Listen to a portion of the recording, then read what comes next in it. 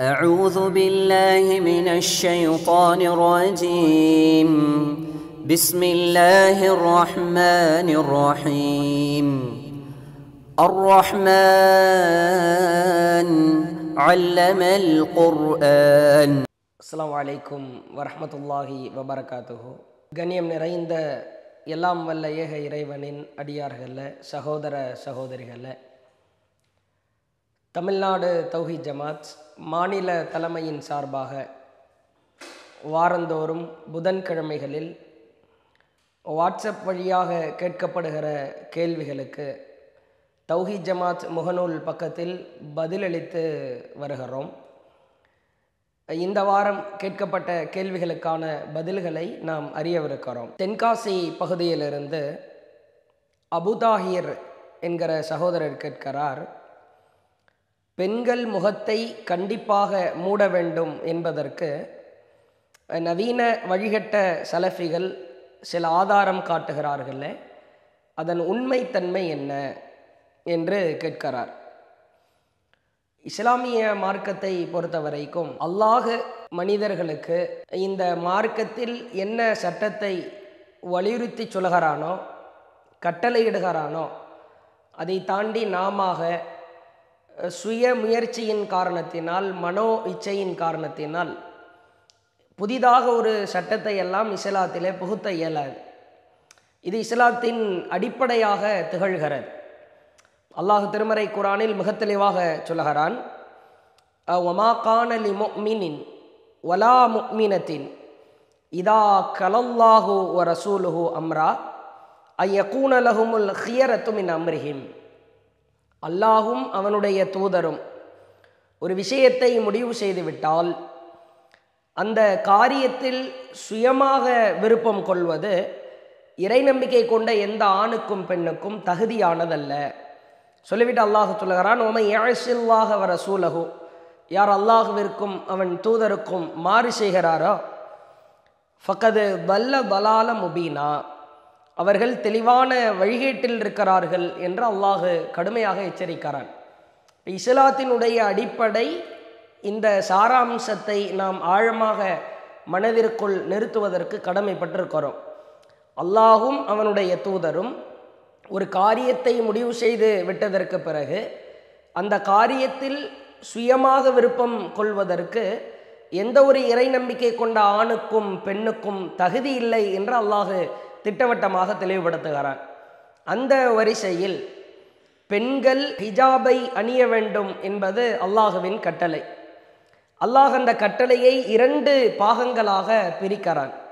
ஒன்று நபியின் மனைவியராக இருந்தால் அவர்கள் மற்ற ஆண்களுக்கு முன்னால் மகரமில்லாத அந்நிய ஆண்களுக்கு முன்னால் வருகிற பொழுது அவர்கள் முழுமையாக திரையிட்டு கொள்ள வேண்டும் என்றும் நபியின் மனைவியர் அல்லாத மற்ற சாதாரண பெண்ணாக இருந்தால் அவர்கள் முகம் முன்கை தவிர மீதமிருக்கிற உடல் பாகங்கள் அத்துணையும் மறைக்க வேண்டும் என்பது இறைவனின் கட்டளையாக இருக்கிறார் அல்லாஹ் இரண்டு பாகங்களாக மிக தெளிவாக பிரிக்கிறார் நபியின் மனைவியராக இருந்தால் ஒரு திரை அவர்களுக்கு நடுவிலே தொங்க வேண்டும். அவர்கள் இருப்பதை திரைக்கு அப்பால் இருந்து யாரும் பார்க்க முடியாத அளவிற்கு ஒரு பிரம்மாண்டமான திரை இருக்க வேண்டும். அந்த திரைக்குள் தான் அவர்கள் இருக்க வேண்டும் என்பது இறைவனின் சட்டம். சாதாரண பெண்ணாக இருந்தால் அவர்கள் முகம் முன்கை இந்த இரண்டை தவிர மீதமிருக்கிற அத்துணை பாகங்களும் மூடப்பட்டிருக்க வேண்டும் மறைக்கப்பட்டிருக்க வேண்டும் என்று அல்லாஹு மிக தெளிவாக சட்டத்தை வகுக்கிறான் ஆனால் நவீன குழப்பவாதிகளாக திகழ்கிற சிலர் திருமறை குரானுடைய ஒரு வசனத்தை வைத்து ஒரு சில குழப்பங்களை ஏற்படுத்துகிறார்கள். அதில் என்ன குழப்பம் எந்த வசனத்தை திரிக்கிறார்கள்? சூரா அஹாப் என்ற அத்தியாயத்தில் முப்பத்தி மூன்றாவது வசனம் முப்பத்தி மூன்றாவது அத்தியாயம் முப்பத்தி மூன்றாவது வசனம். அல்லாஹு சொல்லுகிறான் ஒக்கர்னஃபி புயோத்தி குன்ன நபியின் மனைவியர் குறித்து அல்லாஹு இந்த அத்தியாயத்தில் பேசுகிறான் அதில் மேலே உள்ள வசனங்கள் எல்லாம் நபியின் மனைவியர் குறித்து பேசப்படுகிற வசனங்கள். அந்த வரிசையில் அல்லாஹ் இந்த வசனத்தை சொல்லுகிறான். ஒ கர்ணஃபி புயூத்தி குன்ன உங்கள் வீடுகளில் நீங்கள் தங்கியிருங்கள். ஒலா தபர்ரஜ்ன தபர்ருஜல் ஜாகிலியத்தில் உலா முந்தைய அறியாமை காலத்தில் அலங்காரத்தை வெளிக்காட்டியது போன்று நீங்கள் வெளிக்காட்டி தெரியாதீர்கள். அறியாமை காலத்தில் பெண்கள் அலங்காரத்தை வெளிக்காட்டின மாதிரி நீங்கள் வெளிக்காட்டி தெரியாதீங்க. வ அக்கிமுன சலாத்த தொழுகையை நிலைநிறுத்துங்கள். வ ஆத்தீன ஜகாத்த ஜகாத்தை கொடுங்கள். வ அத்தியனல்லாக ஒரு ரசூலஹு அல்லாஹுவிற்கும் அவன் தூதருக்கும் நீங்கள் கட்டுப்படுங்கள் என்று இந்த வசனத்தில் அல்லாஹ் பேசுகிறான். அப்போ குழப்பத்தை உண்டு பண்ணுபவர்கள் விளைவிக்க நினைப்பவர்கள் இந்த வசனத்திலிருந்து ஒரு அறிவு சார்ந்த கேள்வியை கேட்கிறோம் என்ற பெயரில் ஒரு முட்டாள்தனமான கேள்வியை கேட்பதை பார்க்கிறோம். நபியின் மனைவியருக்கு அல்லாஹு கட்டளையிடுகிறான் என்று சொன்னால் தொழுகையை நிலைநிறுத்துங்கள் ஜகாத்தை கொடுங்கள் என்கிற இந்த சட்டங்களும் நபியின் மனைவியருக்கு மட்டும்தான் உரியதா? நீங்கள் நபி மனைவியர் மட்டும்தான் பெரிய திரை போட வேண்டும் முகத்தை மூட வேண்டும். என்று நீங்கள் மக்களுக்கு சட்டம் சொல்வதாக இருந்தால் அப்போ மற்ற பெண்களுக்கு முகத்தை மூட தேவையில்லை. அவர்களுக்கு நடுவில் மற்ற அந்நிய ஆண்களுக்கு மத்தியில் பேசுகிற பொழுது திரை போட வேண்டிய அவசியம் இல்லை என்று நீங்கள் சொல்வதாக இருந்தால் தொழுகை நிலைநிறுத்துங்கள் ஜகாத்தை கொடுங்கள் என்கிற இந்த சட்டங்களும் நபியின் மனைவியருக்கு மட்டும்தான் உரியதா? மற்றவர்களுக்கு கிடையாதா? அப்படின்னு சொல்லி முகத்தை கண்டிப்பாக மூட வேண்டும் என்கிற ஆதாரமற்ற கொள்கையில் இருப்பவர்கள் நம்மை பார்த்து எதிர்கேள்வி கேட்பதாக நினைத்து ஒரு அறிவில்லாத குரான் வசனங்களை சரியாக புரியாமல் விளங்காமல் அதை ஆய்வு செய்யாமல் ஏதோ ஒரு நுனிப்புள் மேந்ததை போன்று கேள்வி கணைகளை எழுப்புகிறார்கள். ஒன்றை நன்றாக புரிந்து கொள்ள வேண்டும். நபியின் மனைவியரை அல்லாஹ் அழைத்து இது உங்களுக்கான சட்டம் என்று அல்லாஹு தனிப்பித்து எதை சொன்னானோ அது நபியின் மனைவியருக்கு மட்டும் உரியதுதான் பொதுவாக அல்லாஹு நபியின் மனைவியருக்கும் அந்த சட்டத்தை சொல்லியிருப்பான். மற்ற பெண்களுக்கும் அல்லாது அந்த சட்டத்தை சொல்லியிருப்பான். அதற்கான ஆதாரங்கள் வேறு இடத்திலும் இருக்கும். இப்போ தொழுகை நிலைநிறுத்துங்கள் ஜகாத்தை கொடுங்க அல்லாவுக்கும் அவன் தூதருக்கும் கட்டுப்படுங்க இது நபியின் மனைவியர் குறித்து அல்லாஹு பேசி கொண்டு வருகிற வசனத்தில் வருகிறது தான் ஆனால் அனைத்து பெண்களும் தொழுகையை நிலைநிறுத்த வேண்டும். எல்லா பெண்களும் முஸ்லிம் பெண்கள் ஜகாத்தை கொடுக்கணும். எல்லாரும் ஆண்கள் பெண்கள் அத்துணை நபர்களும் அல்லாவுக்கு அவன் தூதருக்கு கட்டுப்படணும்னு வேற வேற இடத்தில் அனுமதி இருக்கிறேன் அல்லாஹ் அதை கட்டளையிடுகிறான். ஆனால் நபியின் மனைவியராகிய நீங்கள் மற்ற அந்நிய ஆண்களுக்கு மத்தியில் பேசுகிற பொழுது இருவருக்கும் நடுவிலே திரை போட வேண்டும் என்பதற்கு வேறு இடத்தில் சான்று இருக்கிறதா? அதுதான் கேள்வி. தொழுகையை நிலைநிறுத்த வேண்டும் ஜகாத்தை கொடுக்கணும் அப்படின்றதுக்கு எல்லாரும் நிறைவேற்றணும்னு வேற இடத்துல ப்ரூஃப் இருக்கிறது. ஆதாரம் இருக்கிறது. அல்லாஹு மற்ற இடங்களில் பேசுகிறான் தன் தூதர் மூலமாக கட்டளையிடுகிறான். ஆனால் திரை போட வேண்டும். மற்ற அந்நிய ஆண்களுக்கு மத்தியில் நீங்கள் பேசுகிற பொழுது திரை போட வேண்டும் என்பதற்கு மற்ற பெண்களுக்கான சான்று இருக்கிறதா? நீங்கள் நபி மனைவியர் அல்லாதவங்களும் மற்ற அந்நிய ஆண்களிடத்திலே பேசுகிற பொழுது அவர்களுக்கும் உங்களுக்கும் மத்தியில் நடுவில் திரை போடப்பட்டிருக்க வேண்டும் என்று அல்லாஹ் வேற இடத்துல சொல்கிறானா அல்லாவுடைய தூதர் வேறு இடத்தில் சொன்னார்களா? சற்று யோசித்து பாருங்கள். அல்லாஹ் பேசுகிறான். யா யுஹன் நபி குல்லி அஸ்வாஜிக். நபியே உமது மனைவியினர் இன்குண்ண துரிதினல் ஹயாத்த துன்யா இவ்வுலக வாழ்க்கையையும் அதன் பகட்டையும் விரும்புவோராக இருந்தால் அல்லாஹ் சொல்லுகிறான் உங்களுக்காக நீங்க விரும்புவோராக இருந்தா வாங்க உங்களுக்கு நான் வாழ்க்கை வசதிகளை அழிச்சு அழகிய முறையில் உங்களை மனவிலக்கு செய்திடுறேன் இது யாயுகன் நபின்னு சொல்லி அல்லாஹ் பேசுகிறான். இது நபியின் மனைவியருக்கு உரித்தான வசனமாகத்தான் அல்லாஹ் இறக்குகிறான். ஒரு சிறிய ஒரு பொருளாதார பிரச்சனை ஏற்படுகிறது. அல்லாவுடைய தூதர் அப்படி மன சங்கடத்தில் அமர்ந்திருக்கிறாங்க. அல்லாஹ் வசனம் இருக்கிறா நபியின் மனைவியரே இங்கே வாங்க. நீங்கள் இந்த உலக வாழ்க்கையும் அந்த பகட்டையும் விரும்பினா எல்லோரும் வாங்க. உங்களுக்கு அழகான முறையில் நான் உங்களை மனவிலக்கு செய்து விடுகிறேன். இது நபியின் மனைவியருக்காக இறக்கப்பட்ட வசனம் தான் இதை பொதுவாக எல்லாத்துக்கும் உலக ஆசையை விரும்புகிற பெண்களை எல்லாம் அழைச்சி நாம் மனவிலக்கு செஞ்சிடலாம்னு பொதுச்சட்டம் சொல்ல முடியுமா?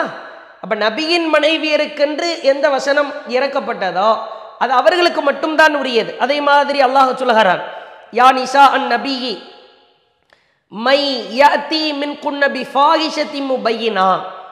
நபியின் மனைவியரே உங்களில் யார் பகிரங்கமான மானக்கேடான காரியத்தை செய்கிறாரோ யுதாஃபு லஹல் அதாபு திஃபைன் அவருக்கு இரண்டு மடங்கு வேதனை தரப்படும். சாதாரண பெண்ணு தவறு செய்தால் மானக்கேடான காரியத்தை செஞ்சா அவங்களுக்கு ரெண்டு மடங்கு வேதனைன்னு சொல்ல முடியுமா? இப்போ நபியின் மனைவியரை பார்த்து அல்லாஹ் சொல்லுகிறான் நீங்கள் மானக்கேடான காரியத்தை செய்யக்கூடாது. அருவருக்கத்தக்க காரியத்தில் நீங்கள் ஈடுபடக்கூடாது. அவ்வாறு ஈடுபட்டால் உங்களுக்கு இருமடங்கு வேதனை தரப்படும் என்று அல்லாஹ் சொல்லுகிறான். இதே சட்டத்தை இது வந்து பொதுவான சட்டம். மற்ற பெண்களுக்கும் இருமடங்கு வேதனை தான் என்று யாரேனும் சொன்னால் அவர் அறிவாளியாக இருக்க முடியுமா? குரானை அணுகுகிற முறையா இது? அதே போன்று அல்லாஹ் சொல்கிறான் அந்நபியு அவுலாபில் முக்மினின் இந்த நபி உங்களுக்கு முக்மின்களுக்கு உயிரை விட மேலானவர். அவருடைய மனைவிமார்கள் உங்களுக்கு தாய்மார்கள் என்று அல்லாஹ் சொல்லுகிறான். இது வந்து நபிக்காக சொல்லப்பட்டது அல்ல. இது பொதுவாக எல்லா பெண்களை பார்த்து சொல்கிறது தான் உலகத்தில் யாரெல்லாம் பெண்ணாக பிறந்திருக்கிறாங்களோ அவங்களாம் நமக்கு அம்மா தான் அப்படின்னு சொல்ல முடியுமா? அட நபிக்கென்று அல்லாது தனிப்பட்ட வகையில் ஒரு சட்டத்தை சொல்லியிருக்கிற பொழுது அவரின் மனைவியை பார்த்து சொல்லியிருக்கிற பொழுது அந்த சான்று அந்த சட்டம் நபியின் மனைவியருக்கு மட்டும்தான் பொருந்தும். இப்போ என்ன கேள்வி அப்படின்னா நபியின் மனைவியருக்கு மட்டும் அல்லாஹ் திரை போட சொல்கிறான் அந்நிய ஆண்களிடத்திலே நீங்கள் பேசுகிற பொழுது அவர்களுக்கும் உங்களுக்கு மத்தியில் திரை போடுங்கள். அவங்கள பார்க்கக்கூடாது நீங்கள் யாருன்னு அவங்களுக்கு தெரியக்கூடாது. இது மாதிரி மற்ற பெண்களை இறைவன் முகத்தை மூட சொன்னானா? திரை போட சொன்னானா? அதுதான் கேள்வி. மிக தெளிவாக இருக்கிற முகத்திரை என்பது ஒரு அந்நிய ஆண்களிடத்தில் பேசுகிற பொழுது அந்த ஆண்களுக்கும் நபியின் மனைவியர்களுக்கும் நடுவில் திரை போடப்பட வேண்டும். இது நபியின் மனைவியருக்கு மட்டும் உரிய சட்டம். மற்ற பெண்கள் முகத்தை மூடக்கூடாது. மற்ற பெண்களுக்கு இந்த சட்டம் கிடையாது என்று அல்லாஹ் தெளிவாக சொல்லுகிறார் அல்லாஹு திருமறை குரானில் முப்பத்தி மூன்றாவது அத்தியாயம் ஐம்பத்தி மூன்றாவது வசனத்திலே சொல்லுகிறான் இதா நபியின் மனைவியராகிய நீங்கள் அவர்களிடம் மற்ற தோழர்களிடம் அந்நிய ஆண்களிடம் ஏதேனும் ஒரு பொருளை கேட்டால் மி வராய் ஹிஜாப். திரைக்கு அப்பால் இருந்தே கேளுங்கள். தாலிக்கும் அத்தஹருளி குலூபிக்கும் இதுதான் உங்களின் உள்ளத்திற்கும் ஒ குலூபிகின்ன அவர்களின் உள்ளத்திற்கும் மிகவும் பரிசுத்தமானது. எவ்வளவு தெளிவான வசனம். இந்த வசனத்தினுடைய பின்னணியாக மேலே இந்த வசனத்தின் மேற்பகுதியிலேயே அல்லாஹ் பேசுகிறார். சுசலா அலிஸ்லாம் வீட்டுக்கு உணவு சாப்பிட்றதுக்காக நபித்தோழர்களுடைய ஒரு சாரார் போயிட்டாங்க. போயிட்டு அங்கேயே பேசி கொண்டிருக்கிறார்கள். பேச்சிலே லயித்து விட்டார்கள். சுசலா அலிஸ்லாம் அவங்களுக்கு சங்கடமாக இருக்குது. சாப்பிட்டாங்க. நேரம் ஆயிடுச்சு அடுத்த வேலைகள் இருக்கிறது. எல்லோரும் பேசிக்கொண்டே இருக்கிறார்களே புறப்படுவது போன்று தெரியவில்லையே. என்ற சங்கடத்தில் மனச்சங்கடத்தில் இருக்கிற பொழுது அல்லாஹ் இந்த வசனத்தை இறக்குகிறான். நபியின் மனைவியராகிய நீங்கள் அவர்களிடம் ஏதேனும் ஒரு பொருளை கேட்டால் மிவ்வராய் ஹிஜாப். திரைக்கு அப்பால் இருந்து கேளுங்க. இது மாதிரி ஒரு தெளிவான சான்றை காட்டுங்க பார்ப்போம் அந்நிய ஆண்களுக்கும் தூதரின் மனைவியர்களுக்கும் நடுவில் ஒரு திரை போடப்பட்டிருக்க வேண்டும். இந்த சட்டம் சாதாரண பெண்களுக்கு உரியதா அப்ப இது மாதிரி ஆதாரம் காட்டணும். மற்ற பெண்கள் முகத்தை மூடுற அளவுக்கு நபி மனைவிமார்கள் அப்படி முகத்தை மூடிட்டு போனாங்களா? அங்கு யார் இருக்கிறார் என்று தெரியாது இங்கு யார் நிற்கிறார் என்று தெரியாது. ஒரு பெரிய போர்வை போன்ற ஒரு திரை. இன்னைக்கு வெறுமனை கண்ணில் போட்டுட்டு போற ஒரு முகத்தர மாதிரி எல்லாம் கிடையாது. முகத்திரை என்பதே முதலில் தவறு. யார் இருக்கிறார் என்பதை அறியாத வகையில் நடுவில் போடப்பட்டிருக்கிற ஒரு பெரிய திரை. இந்த அடிப்படையை விளங்காமல் நபி மனைவியருக்கு தொழுகை நிலைநிறுத்துங்க ஜக்காத்து கொடுங்கன்னு சொன்னது எல்லாத்துக்கும் தானே பொருந்தும்? எல்லாத்துக்கும் பொருந்தும்னு வேற ஆதாரம் இருக்கிறேன் மிவ்வராய் ஹிஜாப். நபியின் மனைவியருக்கு மட்டுமே அந்நிய ஆண்களுக்கு மத்தியில் பேசுகிற பொழுது திரை போடப்பட வேண்டும் என்பதற்கு ஒரு ஆதாரம் தான் இருக்கிறது. இப்போ எல்லா பெண்களுக்கும் திரை போடப்பட வேண்டும் என்று இருந்தால் அதற்கு ஒரு தக்க சான்ற காட்டணும் அதே மாதிரி நீங்கள் அழகான செய்தியெல்லாம் பார்க்கலாம். செய் புகாரியிலே பார்க்கலாம். நாலாயிரத்தி இரநூத்தி பதிமூன்றாவது செய்தி. நபி தோழர்கள் விளக்குறாங்க அனசிரலி எல்லாம் அறிவிக்கிறாங்க. நாங்கள் ஹைபருக்கும் மதீனாவுக்கும் இடையில உள்ள அந்த சத்து சாபா இடத்துல சஃபியா ரலியல்லா அவர்களை அல்லாஹுவின் தூதர் அவர்கள் திருமணம் முடித்தார்கள். உடனே நாங்கள் எங்களுக்கு மத்தியில் பேசிக்கொண்டோம். அவர்கள் அந்த திருமணத்தின் பொழுது மன விருந்து அளித்தார்கள். எங்களில் சிலருக்கு திருமணம் முடிந்தது தெரியவில்லை. உடனே முஸ்லிம்களில் சிலர் பேசிக்கொண்டார்கள். சஃபியா இறை நம்பிக்கையாளர்களின் அன்னை அதாவது நபி அவர்களின் துணைவியரில் ஒருவரா? அல்லது நபிசல் அவர்களின் அடிமை பெண்ணா? என்று பேசிக்கொண்டார்கள் ரசூல்லா சத்து சஹபான்ற இடத்துல சஃபியா அலி அல்லாமலும் திருமணம் முடிக்கிறாங்க. சிலருக்கு ஒரு சாராருக்கு திருமணம் நடந்தது தெரியல. அப்ப சஃபியா அவங்க நபியின் மனைவியரில் ஒருவரா? அல்லது சாதாரண அடிமை பெண்ணா? அப்படின்றத நாங்கள் பேசிக்கிட்டோம். உடனே எங்களில் சிலர் சொன்னார்கள் சஃபியா அவர்களுக்கு நபிசல்லா அலை செல்லம் அவர்கள் ஹிஜாப் திரையிட்டு கொள்ளும்படி கட்டளையிட்டால் அவர் இறை நம்பிக்கையாளர்களில் அன்னையரில் ஒருவர். அப்படி அவர்களுக்கு திரையிட்டு கொள்ளும்படி கட்டளையிடாவிட்டால் அடிமை பெண்களில் ஒருவர். என்று மக்களில் சிலர் கூறினர். சுசலா அலை செல்லம் அவர்கள் தங்களின் வாகனத்தில் புறப்பட்ட பொழுது ஷஃபியா அவர்களுக்காக இருக்க இடம் அமைத்து அவர்கள் அமர்ந்த பிறகு திரையை இழுத்து மூடிவிட்டார்கள். மிக தெளிவான சான்று. புகாரியில் நாலாயிரத்தி இரநூத்தி பதிமூன்றாவது செய்தி.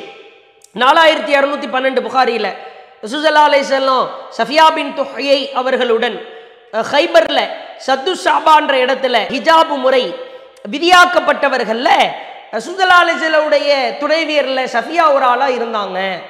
அப்போ நபித்தோழர்கள் மிக தெளிவாக புரிந்து வைத்திருந்தார்கள். திரை போடப்பட்டு மூடப்பட்டா அவங்க நபியின் துணைவியார். இல்லை திரை போடப்பட்டு மூடப்படலை. திரை போடப்படவில்லை. அந்நிய ஆண்கள் பார்க்கிற வகையில் அவர்கள் தங்களுடைய ஆடைகளை எல்லாம் பேணி முகம் வெளியே தெரிகிற வகையில் இருந்தால் அவங்க சாதாரண பெண்ணு என்பதற்கு மிகச்சிறந்த சான்றாக இருக்கிறது. இப்போ இதை விட மிகச்சிறந்த ஆதாரம் என்ன வேணும் அதே மாதிரி பார்க்கலாம். அல்லாஹுடைய தூதர் காலத்தில் சாதாரண பெண்கள் இப்போ இன்னைக்கு இருக்கிற பெண்கள் குறித்து முகத்தை மூடக்கூடாதுன்னு சொன்னால் நம்மை மேலும் கீழுமாய் ஒரு மாதிரியாய் பார்க்கிறார்கள். நபி தோழியர்களை விட மிகச்சிறந்த தியாகிகள் யார் இருக்க முடியும்? அல்லாஹ் அவர்களை பொருந்தி கொண்டான்.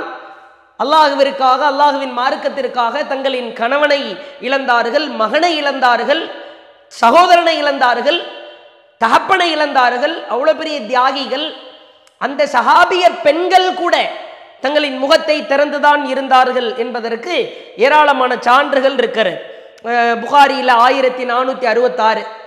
இவனு மசூதர் அலி அல்லாவுடைய மனைவி ஜைனப் அலி அல்லாவுங்க ரசுல்லாவை சந்திக்க வரும்போது பிலால் ரலி அல்லா அவர்களிடத்தில் பேசினார்கள்.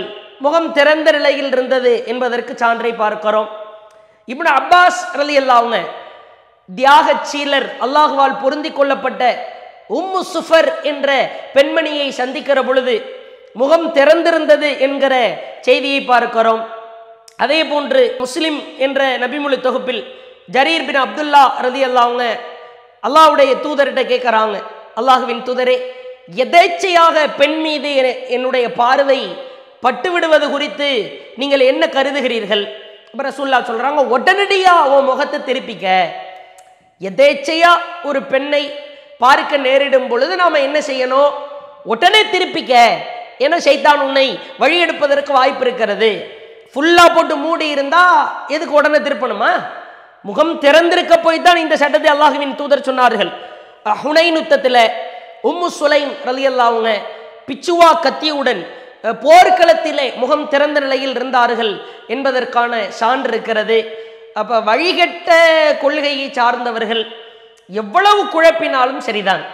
அல்லாஹுவின் தூதர் காலத்தில் பெண்களுக்கான ஹிஜாபு இரண்டு வகைகளில் பேணப்பட்டது. ஒன்று நபியின் மனைவியர் மற்றொன்று சாதாரண பெண்கள். நபியின் மனைவியராக இருந்தால் ஹிஜாபோடு சேர்த்து அந்நிய ஆண்களை அவர்கள் சந்திக்கும் பொழுது தங்களுக்கு மத்தியில் ஒரு பெரிய திரை இருக்க வேண்டும்.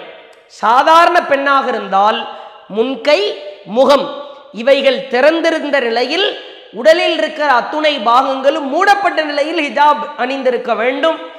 வழிகட்டவர்களின் குழப்பத்திற்கு நாம் உள்ளாகி விடாமல் ரசூசல்லா அலிசல்லம் காலத்தில் பெண்கள் சாதாரண பெண்கள் முகத்தை மூடியதற்கான எந்த ஆதாரமும் கிடையாது.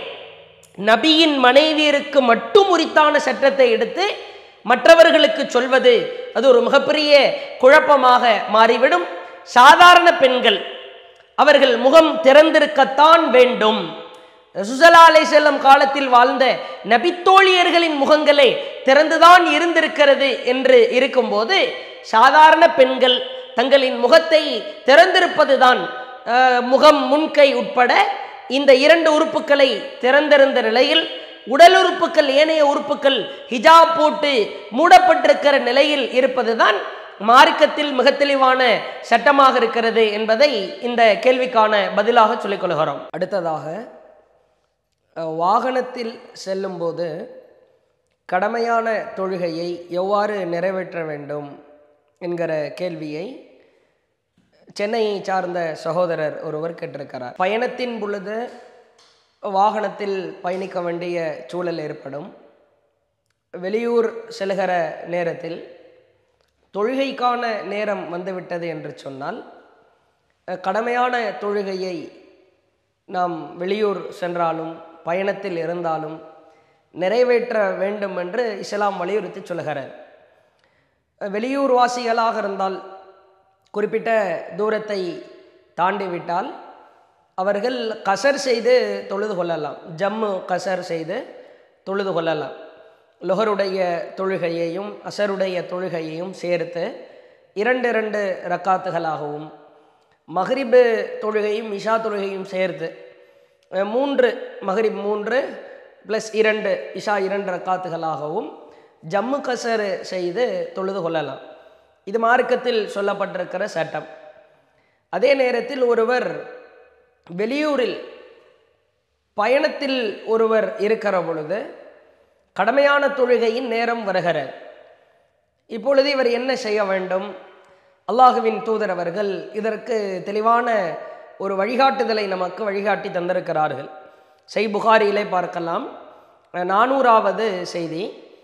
யுசல்லி அலா ராஹிலத்திஹி ஹைசு தவஜஹத். அல்லாஹுவின் தூதர் அவர்கள் தங்களுடைய வாகனத்தின் மீது அமர்ந்து அது செல்லுகிற திசையை நோக்கி தொழுபவர்களாக இருந்தார்கள். சுசலா அலைசல் அவங்க வாகனத்தின் மீது ஏறி அமர்கிறார்கள். அவர்களின் காலத்தில் வாகனம் என்பது ஒட்டகம் குதிரை கழுதை வாகனமாக இருந்தது. அந்த வாகனத்தின் மீது ஏறி அமர்ந்து வாகனம் செல்லுகிற திசையை நோக்கி தொழுபவர்களாக இருந்தார்கள் அப்படின்ற செய்தியை புகாரியில் பார்க்கிறோம். எந்த தொழுகையை தொழுதார்கள்? வாகனம் செலுகிற திசையில் திசையெல்லாம் ரசூல்லா கவனிக்காமல் வாகனம் செல்கிற திசையில் தொழக்கூடியவங்களாக இருந்தாங்க அப்படின்ற செய்தியில் எந்த தொழுகை என்பதை கூடுதலான விளக்கத்தோடு சை புகாரியில் ஆயிரத்தி தொண்ணூற்றி நாலாவது செய்தியாக பார்க்கலாம். அண்ணன் நபிய சல்லல்லாஹு அலைஹி வசல்லம் கான சல்லி ததவ்வ ஒஹுவ ராக்கிபுன் ஃபி கைரில் கிப்லா. ரசூசல்லா அவர்கள் வாகனத்திலே செல்கிற பொழுது கிபிலா அல்லாத திசையை நோக்கி உபரியான நஃபிலான தொழுகைகளை தொழுபவர்களாக இருந்தார்கள். அப்போ ரசூசல்லா அலிசல்லாம் அவங்க வாகனத்தின் மீது ஏறி அமர்ந்து கிபிலா திசையெல்லாம் கவனிக்காம இது ஒரு சலுகை. அல்லாஹுவின் தூதர் நமக்கு கொடுத்திருக்கிற சலுகை. வாகனத்தில் ஏறி அமர்ந்திருக்கிறோம். கூடுதலான நஃபிலான சுண்ணத்தான உபரியான தொழுகைகளை தொழுபவர்களாக இருந்தார்கள் என்கிற செய்தியை பார்க்கிறோம். அப்போ ஒருத்தர் பயணத்தின் பொழுது வாகனத்தில் ஏறி அமர்ந்து உபரியான சுண்ணத்தான தொழுகைகளை தொழுவதற்கு அல்லாஹுவின் தூதரின் வழிகாட்டுதலிலிருந்து நமக்கு செய்தி இருக்கிறது பாடம் இருக்கிறது. ஃபர்லு தொழுகையை ஒருத்தர் வாகனத்தில் தொழ முடியுமா அப்படின்னு கேட்டால் அதற்கு அல்லாவுடைய தூதரவர்கள் நமக்கு வழிகாட்டி தந்திருக்கிறாங்க. புகாரியிலே பார்க்கலாம். ஃபைதா அராதல் ஃபரீதா. ஃபர்லு தொழுகையாக இருந்தால் இப்போ கடமையான ஃபர்லு தொழுகை. ஃபஜ்ரு பஹரு அசரு மஹரிபு இஷா. இது கண்டிப்பாக தொழணும் ஃபர்லு தொழுகை. தொழவில்லை என்று சொன்னால் தொழாவிட்டால் கேள்வி கணக்கு இருக்கிறது. நசல ஃபஸ்தக்பலல் கிபலத்தை ஃபர்லு தொழுகையை ரசூல்லா தொழணும்னு ஆடுறாங்க. வாகனத்திலிருந்து கீழே இறங்கி கிபிலாவை முன்னோக்கி தொழுபவர்களாக இருந்தார்கள். இப்போ ரெண்டு விதமான சட்டம். வாகனத்தில் ஏறி அமர்றோம் பயணித்து கொண்டே இருக்கிறோம் தொழுகையின் நேரம் வருகிறது. இப்பொழுது உபரியான தொழுகையாக இருந்தால் கிபிலா அல்லாத திசை வாகனம் போகிற திசையை பார்த்து தொழுது கொள்ளலாம். ஃபர்லு தொழுகையாக இருந்தால் கட்டாயமாக வாகனத்திலிருந்து இறங்கி நாம் அந்த கிபிலாவின் திசையை கண்டறிந்து நாம் கிபிலாவுடைய திசையை நோக்கி வாகனத்திலிருந்து இறங்கித்தான் தொழ வேண்டும் என்பது சட்டம். இப்போ வாகனம் நம்ம சொந்தமாக ஒரு காரில் பயணிக்கிறோம். சொந்தமாக ஒரு வேனில் பயணிக்கிறோம். சொந்தமாக பைக்கில் பயணிக்கிறோம். சொந்தமாக ஒரு பஸ்ஸில் பயணிக்கிறோம். அப்போ தொழுகையினுடைய நேரம் வருகிற பொழுது உபரியான தொழுகையாக இருந்தால் வாகனத்தை நிறுத்தாமல் வாகனம் போகிற திசையிலேயே நாம் தொழுது கொள்ளலாம். ஒருவேளை கடமையான தொழுகையினுடைய நேரம் வருகிற நம் சக்திக்குட்பட்டு நமக்கு உரித்தான நமக்கு உரிமையான சொந்தமான வாகனமாக இருந்தால் கடமையான தொழுகையின் நேரம் வருகிற பொழுது வாகனத்தை நிறுத்திவிட்டு கிபிலாவுடைய திசையை கண்டறிந்து பூமி முழுக்க நமக்கு தொழுமிடமாக ஆக்கப்பட்டிருக்கிறது. அசுத்தமான இடங்களை தவிர மண்ணறைகளை தவிர என்ற செய்தியின் அடிப்படையில் எந்த இடம் நமக்கு தொழுவதற்கு தோதுவான இடமாக இருக்கிறதோ அந்த இடத்துல வாகனத்தை நிறுத்திட்டு கிபிலாவுடைய திசையை நோக்கி தான் அந்த ஃபர்லு தொழுகையை தொழணும். இது நம்முடைய சொந்தமான வாகனமாக இருந்தால் பைக்கில் போகிறோம் சொந்த பைக்காக இருக்கிறது சொந்த காராக இருக்கிறது சொந்தமாக ஒரு பஸ்ஸில் போகிறோம் குடும்பத்தோடு வெளியூர் பயணம் செல்கிறோம். இப்போ நம்ம சக்திக்குட்பட்டு நாம் உரிமையான அந்த வாகனமாக இருக்கிற பொழுது அந்த வாகனத்தை நிறுத்தி கடமையான தொழுகையின் நேரம் வருகிற பொழுது இறங்கி கிப்லா திசையில் தொழுவதற்கு வாய்ப்பு இருக்கிறது. பொது வாகனத்தில் போகிறோம் ட்ரெயினில் போகிறோம் ஃப்ளைட்டில் போகிறோம் அல்லது பொதுவாக அரசு சார்ந்த ப்ரைவேட்டான பஸ்ஸில் பயணிக்கிறோம். அல்லது வேற ஏதாவது வாகனம் ஆனால் நம்ம ஓனர் கிடையாது உரிமையாளர் கிடையாது. அந்த கண்ட்ரோல் நம்மக்கிட்ட இல்லை. இது மாதிரி வாகனத்தில் பயணிக்கிற பொழுது கூடுமான வரைக்கும் அல்லாஹுவின் தூதரவர்கள் அந்த கடமையான தொழுகையை வாகனத்தில் தொழுவதிலிருந்து தவிர்த்திருக்கிறார்கள். அல்லாஹுவின் தூதரவர்கள் வெளியூருக்கு பயணம் செல்ல புறப்பட்டால் தன்னுடைய தொழுகையை ஜம்மு செய்து கொள்வார்கள். மகரிபுடைய நேரம் வெளியூருக்கு புறப்படணும்னு நாடுறாங்க. தன்னுடைய சொந்த ஊர்லேயே மகரிபோடு சேர்த்து இஷாவை நாலு ரக்காத்து அல்லாவுடைய தூதர் தொழுது இணைத்து தொழுது கொள்வார்கள். அது மாதிரி செய்து கொள்ளலாம். அது மாதிரியான வாய்ப்புகள் இருக்கிறது. அல்லது வாகனம் ஒரு இடத்துல போய் நிற்பதற்கான வாய்ப்பு இருந்தால் இறங்கி தொழுது கொள்ளலாம். கூடுமான வரைக்கும் நாம் பயணத்தில் இருக்கிற பொழுது நிர்பந்தமான சூழலை தவிர நிர்பந்தமான நேரங்களை தவிர மற்ற நேரங்களில் ஒன்று ஜம்மு செய்து தொழுது விட்டு செல்ல வேண்டும் அல்லது வாகனம் நிறுத்துவதற்கான இடம் கடமையான தொழுகையின் நேரத்திற்கு உள் வருகிற பொழுது அந்த நேரத்தில் தொழுது கொள்ள வேண்டும். அல்லது நிர்பந்தமான நேரம் தொழுகையினுடைய வக்து நேரம் தாண்டி போயிடும் இறங்கி தொழுவதற்கான வாய்ப்புகள் இல்லை. இது மாதிரி நிர்பந்தமான சூழல் இருந்தால் லாயு கல்லிஃபுல்லாஹு நப்சன் இல்லா உசா அல்லாஹு எந்த ஒரு ஆத்மாவையும் அதனுடைய சக்திக்கு மீறி சிரமப்படுத்த மாட்டான். இது நிர்பந்தம். ஆனால் கூடுமான வரைக்கும் கடமையான தொழுகையை தொழுகிற பொழுது பயணத்தில் கிளம்புவதற்கு முன்பாகவே ஜம்மு செய்து தொழுது கொள்ளலாம். முழுமையாக மூன்று ப்ளஸ் நாலு மகரிபை இஷாவை சேர்த்து தொழுகலாம். லொஹரில் பயணம் கிளம்புறோம். அசருடைய நாலு ரக்காத்தையும் லொஹருடைய நேரத்தில் நாலு ப்ளஸ் நாலுன்னு சேர்த்து தொழுது கொள்ளலாம். இது மாதிரி செய்து கொள்ளலாம். ஆனால் வழக்கத்தில் நீங்கள் பாருங்கள் சொந்தமாக வாகனம் வச்சுருக்கிறவங்க கூட கடமையான தொழுகையை தொழுகும்போது கார்லேயே உட்கார்ந்து தொழுகிற ஒரு நிலையை பார்க்கிறோம். அது மார்க் அடிப்படையில் தடுக்கப்பட்ட காரியம். நிர்பந்தமான சூழல் என்பது வேறு. கடமையான தொழுகையை நாம் சொந்தமான வாகனத்தில் பயணிக்கிற பொழுது வாகனத்தை நிறுத்தி இறங்கி கிபிலாவுடைய திசையை நோக்கி தான் தொழணும். உபரியான தொழுகையாக இருந்தால் உங்கள் சொந்த வாகனமாக இருந்தாலும் சரி சொந்தமில்லாத வாகனமாக இருந்தாலும் சரி வாகனம் செல்கிற திசையை நோக்கி நாம் பயணிக்கலாம். இந்த விஷயத்தில் மக்களிடத்தில் சில அலட்சிய போக்கு இருப்பதை பார்க்கிறோம்.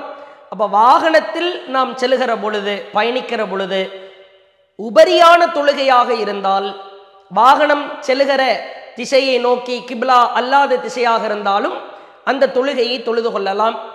நமக்கு உரிமையான சொந்தமான வாகனத்தில் நாம் பயணிக்கிற பொழுது நம்ம கண்ட்ரோலில் இருக்கிற வாகனமாக இருந்தால் கடமையான தொழுகையின் நேரம் வரும் பொழுது வாகனத்திலிருந்து இறங்கி கிபிலா திசையை நோக்கி தான் நாம் தொழணும். நமக்கு உரிமை இல்லாத வாகனம். நாம் அதற்கு உரிமை கொண்டாட முடியாது. நம்ம கண்ட்ரோலில் இல்லை. அப்படிப்பட்ட ஒரு ட்ரெயின் ஃப்ளைட்டில் நாம் போகிறோம். பயணம் கிளம்புவதற்கு முன்பாகவே ஜம்மு செய்து கொள்ளலாம். ஒரு கட்டத்தில் அதையும் தாண்டி நிர்பந்தமான சூழலாக இருந்தால் வாகனத்தில் நாம் தொழுது கொள்வதற்கு அனுமதி என்ற அடிப்படையில் இந்த சட்டத்தை நம்முடைய வாழ்க்கையில் கடைபிடிக்க வேண்டும் என்பதை இந்த கேள்விக்கு பதிலாக சொல்லிக் கொள்கிறோம். அடுத்ததாக பிரிண்டிங் தொழில் செய்யும் நான் மார்க்கத்திற்கு முரணான பேனர்கள் போஸ்டர்கள் இது போன்றவற்றை பிரிண்ட் அடித்து கொடுக்கலாமா அப்படின்னு கேட்குறாங்க பொதுவாக நாம் செய்கிற வியாபாரத்தில் இஸ்லாம் அனுமதிக்கப்பட்ட வகையில் ஹலாலான முறையில் மார்க்கம் தடுக்காத வகையில் நம்முடைய வியாபாரங்களை தொழில் சார்ந்த விஷயங்களை நாம் அமைத்து கொள்ள வேண்டும். அல்லாஹுவின் தூதர் சொன்னார்கள் உனக்கு எது சந்தேகமாக இருக்கிறதோ அதை விட்டு நீ விலகி இருந்து கொள். அதே போன்று அல்லாஹுவின் தூதர் சொன்னார்கள் ஒரு காலம் வரும் தான் சம்பாதிப்பது ஹலாலா ஹராமா என்று தெரியாத அளவிற்கு ஒரு காலம் ஒரு அது மறுமையின் நெருக்கத்தில் வரும். அப்படின்லாம் அல்லாவுடைய தூதர் அவங்க முன்னறிவிப்பு செஞ்சாங்க. இப்போ எது நமக்கு சந்தேகமாக இருக்கிறதோ எது தெளிவாக இல்லையோ எது நம்மை உள்ளத்தில் உறுத்தலாகவே தெரிகிறதோ நாம் செய்கிற வியாபாரம் தொழில் எதுவாக இருந்தாலும் அதிலிருந்து நாம் விலகி இருக்க வேண்டும். அதுதான் மார்க் அடிப்படையில் பேணுதலானது. நீங்கள் பார்க்கலாம். அல்லாஹ் திருமறை குரானிலே சொல்லுகிறார் ஒத்தாவனு அலல் பிர்ரி ஒத்தக்குவா நன்மையிலும் இறையச்சத்திலும் நன்மையான காரியம் இறைவனுக்கு பயப்படுகிற காரியம் என்றால் ஒருவருக்கொருவர் உதவி கொள்ளுங்கள். அதற்காக எவ்வளவு சிரமம் ஏற்பட்டாலும் சரி ஒரு விஷயத்தில் ஒரு காரியத்தில் நன்மை நடக்க போகிறது. அதனால் ஒரு உயிரையே தியாகம் பண்ணணும் ஒரு உடைமைகளை இழக்கணும். இது அல்லாவுக்கு பயந்து நடக்கிற காரியம். இதனால் என் உயிரே போயிரும்னு இருந்தாலும் அதில் நீ மற்றவருக்கு உதவி செய்ய வேண்டும். ஒலா தாவனும் அலல் இஸ்மி ஒல் உதுவான். பாவமான காரியம் வரம்பு மீறுகிற காரியமாக இருந்தால் அது மாதிரியான காரியங்கள் எவ்வளோ பெரிய காரியமாக இருந்தாலும் அதனால் எவ்வளவு பொருளாதாரங்கள் நமக்கு தொழிலில் ஈட்டப்பட்டாலும் வருமானம் கொழித்தாலும் சரிதான். வருமானங்கள் நமக்கு அருகியாய் கொட்டினாலும் சரிதான். அந்த மாதிரியான காரியங்களில் ஒருவருக்கொருவர் உதவி செய்து கொள்ளாதீர்கள் என்பது போன்ற அல்லாஹுவின் ஆணித்தனமான உபதேசத்தை நாம் பார்க்கிறோம். பிரிண்டிங் வேலைகளில் ஈடுபடுகிறோம். இது மாதிரியான வேலைகளில் ஈடுபடுகிற பொழுது அதற்காக டிசைன்கள் செய்து கொடுக்கப்படும். டிசைன்களில் சரி செய்ய வேண்டிய நிலைமை ஏற்படும். மார்க்கம் தடுக்கிறது. உருவ படங்களை யார் வரைகிறாரோ நிச்சயமாக அந்த உருவத்திற்கு நாளை மறுமையில் குல்லு முசவர் அல்லாஹு உயிர் கொடுக்க சொல்லுவான் என்கிற ஒரு மிக கடுமையான ஒரு தண்டனை இருக்கிறது என்று அல்லாஹுவின் தூதர் சொன்னார்கள். இப்போ ஒரு நபருடைய கண்ணீர் அஞ்சலி போஸ்டர்கள் இறந்த நபரின் அஞ்சலி போஸ்டர் என்று வரும். அதற்காக டிசைன்கள் செய்ய வேண்டிய சூழல் இருக்கும். அதே போன்று ஒரு மணமகன் மணமகள் அவர்கள் திருமணத்தின் பொழுது அதற்காக போஸ்டர்களை டிசைன் செய்ய வேண்டிய வேலைகள் வரும். அதே போன்று விக்கிரகங்கள் மாற்று மத சகோதர சமுதாயங்கள் வணங்குகிற அந்த கடவுள் சார்ந்த போஸ்டர்கள் எல்லாம் வரும். இவைகளை எல்லாம் நீங்கள் டிசைன் செய்கிற பொழுது அது இஸ்லாமிய மார்க்க வரம்புகளை தாண்டி செல்கிற நிலையாக போய் முடியும். சிலர் கேட்கலாம் நான் டிசைன் செய்யவில்லை. வருவதை என்னுடைய பிரிண்டிங் மிஷினில் பிரிண்ட்ஸு பிரிண்ட் செய்து நான் கொடுக்கிறேன். அப்படியும் மார்க் அடிப்படையில் கூடுமா? என்று கேட்டால் அதிலும் பல சிக்கல்கள் இருக்கிறது. பல தெய்வங்களை வணங்குகிறவர்கள் பிரிண்ட் அடித்து தாங்க அப்படின்னு கேட்பாங்க. இயேசுவை ஈஷாவை வணங்குகிறவர்கள் இயேசுநாதர் பிரிண்ட் அடித்து தாருங்கள் என்று கேட்பார்கள். அதே போன்று வேறு வேறு நபர்கள் வேறு ஏதாவது கடவுள் கொள்கையில் உள்ளவங்க எங்கள் கடவுளை பிரிண்ட் அடித்து தாங்க அப்படியெல்லாம் கேட்பாங்க. அப்போ இவைகள் எல்லாம் இது மாத்திரம் தொழில் கிடையாது. இது அல்லாமல் ஏனைய அனுமதிக்கத்தக்க வகையில் எவ்வளவோ பிரிண்ட்டுகள் அடிக்கலாம். பேப்பர் பிரிண்ட்டில் ஒரு பொதுவாக அடித்து கொடுப்பது என்பது வேறு. தனிப்பட்ட வகையில் ஒரு நபர் சார்ந்த விஷயங்களை நீங்கள் அடித்து கொடுக்க வேண்டும். இதற்காக பிரிண்ட் அடித்து கொடுங்க.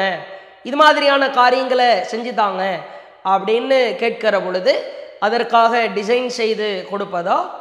அந்த பிரிண்டிங்கை நம்முடைய மிஷின்களில் அடித்து கொடுப்பதோ? மார்க்கடிப்படையில் அது சந்தேகமானதாகத்தான் இருக்கிறது. அதை விட்டு விலகி தூரமாக நிற்பது தான் மிக சிறந்ததாகவும் ஏற்புடையதாகவும் இருக்கும். அதே போன்ற அல்லாஹுவின் தூதரவர்கள் மறுமை நாளுடைய நெருக்கத்தில் இது போன்ற இந்த இணை வைப்பு காரியம் மார்க்கத்திற்கு முரணான காரியம் இவைகளுக்கெல்லாம் நெருக்கமாய் நிற்பவர்கள் குறித்து எச்சரிக்கை செய்தார்கள். அல்லாஹுவின் தூதர் சொன்னாங்க வலா தக்கும் மறுமை நாள் ஏற்படாது. ஹத்தா தல் ஹக்க. கபாயிலு மின் உம்மத்தி பில் முஷரிகேன். என்னுடைய சமுதாயத்தில் சில கூட்டத்தார்கள் இணை வைப்பாளர்களுடன் இணைகிற வரை அவங்களுக்கு இணங்கி போகிற வரை மறுமை நாள் ஏற்படாது. இது மறுமையின் அடையாளமாக சொன்னார்கள். இன்னும் சொல்லா சொன்னாங்க ஹத்தா தழுபுத கபாயிலு மின் உம்மத்தில் அவுசான். என்னுடைய சமுதாயத்தில் சிலர் சிலைகளை போய் வணங்குவாங்க அது வரைக்கும் மறுமை நாள் ஏற்படாது. சொல்லா ஒரு ரொம்ப டேஞ்சராக சொல்கிறாங்க அவர்களுக்கு நீ இணங்கி போக விரும்பாதே. உன்னுடைய மார்க்கம் உன்னுடைய கொள்கை. மனிதாபிமான அடிப்படையில் சமூக சேவை என்ற அடிப்படையில் மனிதனுக்கு மனிதநேயத்தை போதிக்கிற அடிப்படையில் ஏராளமான உதவிகளை மதம் பாராமல் நிறம் பாராமல் மொழி பாராமல் இஸ்லாமிய மார்க்கம் செய்ய சொல்லுகிறது. அது வேறு. மார்க்க வரம்புகளை மீறி இஸ்லாமிய மார்க்கத்திற்கு எதிராக பேனர்கள் போஸ்டர்கள் இது போன்ற காரியங்களை உங்களுடைய தொழில் நிறுவனங்களில் செய்வதற்கு நீங்கள் நினைக்கிற பொழுது அவர்களோடு இணங்கி போகிற நிலை ஏற்படும் என்று அல்லாஹுவின் தூதர் வன்மையாக கண்டிக்கிறாங்க.